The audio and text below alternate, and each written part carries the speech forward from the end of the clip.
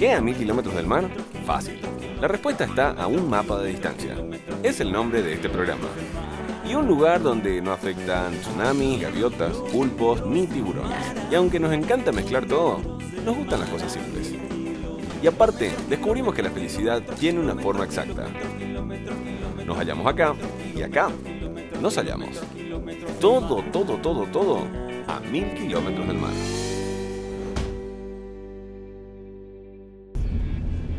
Bienvenidos a una edición más de A Mil Kilómetros del Mar. ¿Cómo les va? Gracias a todos nuestros patrocinadores, auspiciantes, etcétera, etcétera, que nos permiten un programa infinito, como nos venden y demás. No puedo masticar ahora porque, porque estoy manejando.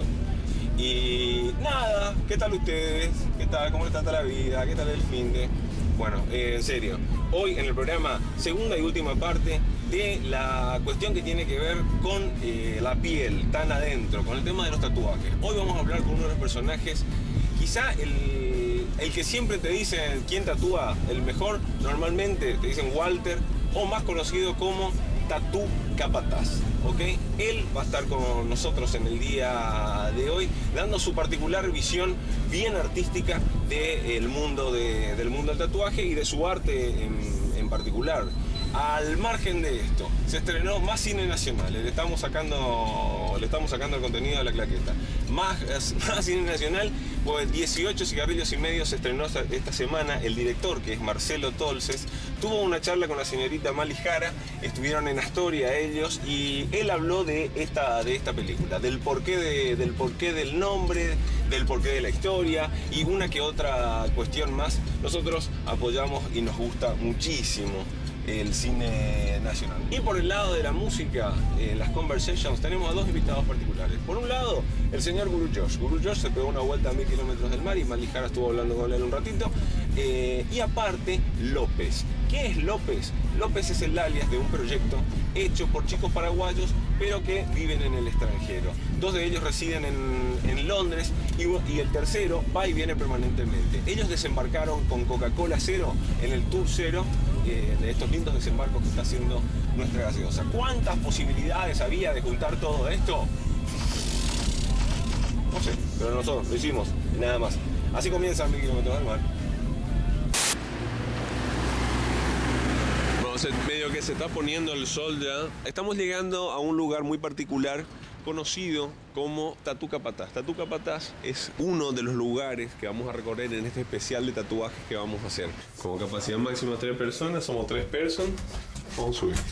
Segundo piso. Bueno, como les decía, en este especial de tatuajes estamos subiendo hasta el segundo piso para hablar con eh, Walter. Walter, conocido como Tatu Capataz. Vamos a ver, son tres tatuadores que vamos a recorrer. Van a ser tres episodios, cada uno de ellos va a cubrir. Y la idea es que cada uno también de ellos me tatúe. No, no, no. no. Este anda igual que mi ascensor. Hola, ¿O tatuaje? No, ¿verdad? Ah. Un tatuador no le gustan los timbres. Esto es típico de la cultura del tatuaje, no le gusta que nadie toque timbre en su casa. ¿La cámara de seguridad? O un cable. Así no es, Walter. ¿Cómo está? ¿Cómo está, Walter? Permiso. Adelante. Estamos pasando. No puede, así. ¿Por qué no? Pues, Porque no, porque era conversar nomás hoy, man. si vos sos, un vos sos un tipo que se pasa hincándole a la gente, ¿cómo la gente no va a entrar nomás hacia tu departamento? ¿O querés que encima vengan? Con respeto, así todo. Permiso. Permiso, Walter, antes que nada. Adelante, adelante, man. ¿Alguno está tatuando en este momento? ¿Sí? ¿Qué decidiste tatuarte, amigo? Eh, un food dog se llama. ¿Un quién? Un food dog. Food Dog. Sí. ¿Es el, el perro de Dave Grohl? ¿Por qué? ¿Por qué? Los Foo Fighters, digo yo. No, no, es un, perro de los Foo un Fighters. perro león chino mítico, así. ¿En serio? Sí. ¿Y qué hace él, por ejemplo? Y es un perro guardián. Todo lo que uno quiere evitar es que se prendan por la pierna de uno, por lo que hiciste es ponerte ya uno en la piedra de uno, de entonces lo- el resto de los perros ve y dice, no, este ya tiene un perro en la pierna, Sí, ¿para qué me voy a enganchar en una? Walter, conocido como Tatu Capataz, Walter, un placer. Eh, primero que hayas accedido a la nota, sabemos que sos Pero un... la nota nomás, man. No, una nota, vamos a te- ahora vamos a tener una charla. Esto es, así- hace- es tal cual, hace- es de cuenta que no. Y a vos te voy a arruinar, loco, loco, tu diseño y te voy a decir que Vega es una estrella y no una constelación, loco. No, Vega es, es una estrella dentro de la constelación Lira. Ah, bueno. ¿Viste? Ya. Bueno, ¿por qué está esto? del- Está, como vemos, hay una actitud un tanto violenta del tatuador. un tipo que se maneja con agujas permanentemente. No puede ser muy pacífico que digamos. ¿Qué pasa con esto? Yo tengo tres tatuajes para hacerme. No, te digo ya que no, ¿eh? Uno de ellos lleva mi apellido, que es Vega, que resulta ser que es el nombre de una de las principales estrellas, una de las más brillantes. ¿De qué hemisferio es que se ve? No sé, creo que del norte. Del hemisferio norte. Bueno, somos cinco hermanos en mi familia y yo necesité hacerme cinco estrellas. Y antes de andar con cinco estrellas, que aparezca la publicidad de un hotel, me dije, vamos a ver qué decide Walter. ¿Qué tal, Walter? Tenemos una estrella. Es esto. Eso. Está muy bueno. ¿Dónde estamos? En Astoria. Acá es donde se hace la cerveza artesanal. Ahora, en a mil kilómetros del mar, vamos a entrevistar a Marcelo Tolce, el creador de 18 cigarrillos y medio. Traje una remera acorde y le traje al protagonista principal, cigarrillo Palermo. ¿Cómo está? Damas y caballeros, Marcelo Tolce, director Perdón. de 18 cigarrillos y medio, que acabo de recibir un mensaje. Prendemos un pucho, decir que probamos a hacer. ¿Cuántas preguntas podemos meter en un pucho? Probemos, probemos. Bueno, bueno, agarro. se me complica. ¿Por qué tapo si no hay viento? Hola mamá, papá. Bueno, importante, sincero. Personales. Bueno, si te puedes dar una presentación más acertada de la que yo te di, con más, ¿Cómo fue la que vos me con diste? más adjetivos. Yo no dije nada, dije gran director. muy difícil usar adjetivos para uno mismo. Creo que no debería hacerse nunca eso.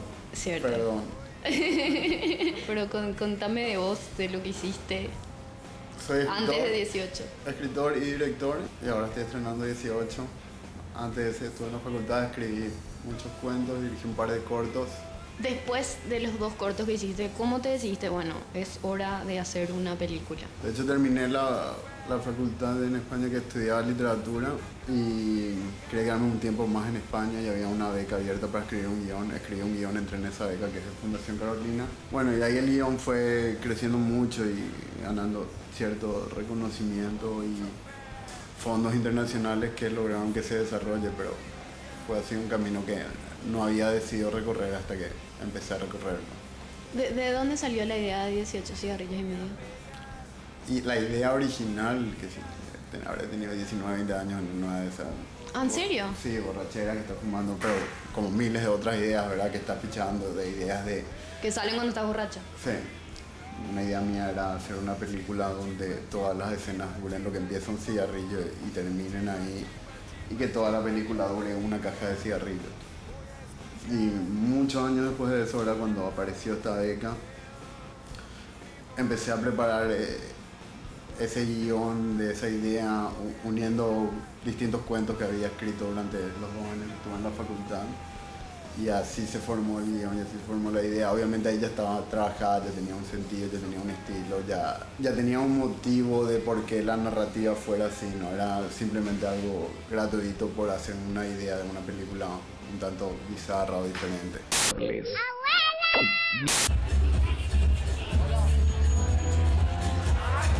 Tenemos camioneta Coca-Cola cero. Tenemos el super camión de Coca-Cola cero. Estamos en uno de los desembarcos más importantes que está teniendo la temporada, que es el Tour Cero precisamente. Si ustedes se quieren fijar acá, el Tour Cero. Ahí estamos. Y es un camión que tiene una banda sorpresa siempre. Hoy vamos a hablar con el Proyecto López. El Proyecto López son tres chicos paraguayos que están diseminados por todo el mundo. Son DJs y ellos se definen cuando le preguntas qué tipo de música hacen. Dicen que hacen música bailable.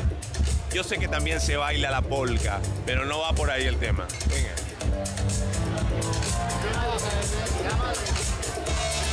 Acá, acá perdimos.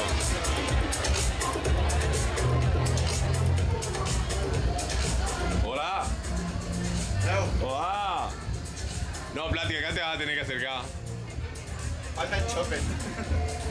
Ahí está. ¿Qué andas haciendo, Plati? ¿Todo bien? Súper. Amigo no, proyecto manager Chopet. Chopet. Chopet, ¿qué andas haciendo? Bueno, ¿quién está en qué parte del mundo? Ahora Ahora lo- estamos en Londres. Los dos están en Londres actualmente. Sí. Y Lion está acá en Asunción, Sí. haciéndose cargo del estudio. ¿Cómo fue, cómo, cómo es comulgar, cómo es comulgar con estas, eh, con estas distancias, digamos? Internet hace todo más fácil. Internet está a nuestro favor hoy en día. Internet está a favor de todo. Sí, una en buena día. conexión y ya está. Tipo, se- las ideas van, vienen. Fluye. Para dar, para dar un poquitito, para dar un poquitito una idea de, de, ya de la magnitud de la, de la magnitud del grupo. Eh, están tocando hoy acá en Paraguay, desembarcando con el Tour Cero de Coca-Cola Cero, pero las próximas fechas, ¿dónde, dónde, ¿de dónde vienen y a dónde van? El 1 de octubre tocamos en Polonia, en una ciudad que se llama Gdansk, que queda en la playa. Gdansk, No, pero que queda la Villa Florida de Polonia. algo parecido. San Bernardino. eh, El vodka está algo bueno. parecido. La, pola, la polaca también. Sí. Hola Polonia. Ok, ¿verdad? Em, después eh. Berlín y Barcelona. Y después de vuelta a casa para algunos. Yo tengo que volver a Asunción. Tenés que volver a Asunción. En un mes y medio, sí. Pues está bien volver a la. Sí, no, va, va- va a empezar otra fiesta. No, van a pasar un poco más de cosas porque los fines de semana están muy aburridos. ¿Verdad que sí?